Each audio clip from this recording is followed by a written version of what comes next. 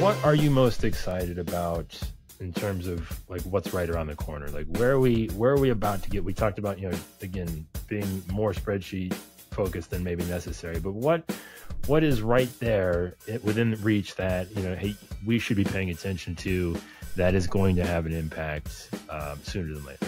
It, it's the automation. I'm not bright bright eyed and bushy tailed in the morning.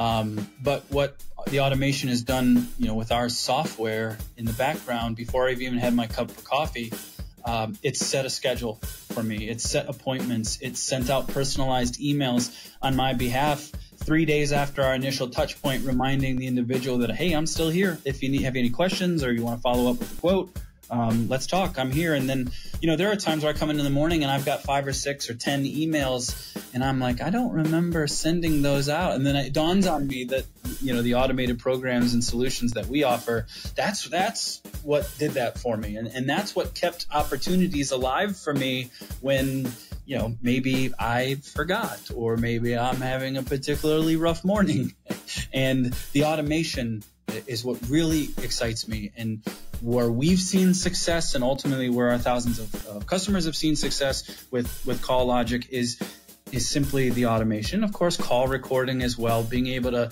play back a, a, conversation that was maybe maybe had a week ago. You could you could have it in note form, but a simple click of a button to hear the nature of the conversation, ref- refresh my memory, and then I can proceed with the, with the next call. So the automation. I know I, it sounds like we've kind of beat that into the ground today, but that is what truly excites me for like the next big thing around the corner. Um, you know, just simply having, you know, kind of almost like, you know, a shadow self working behind the scenes for you.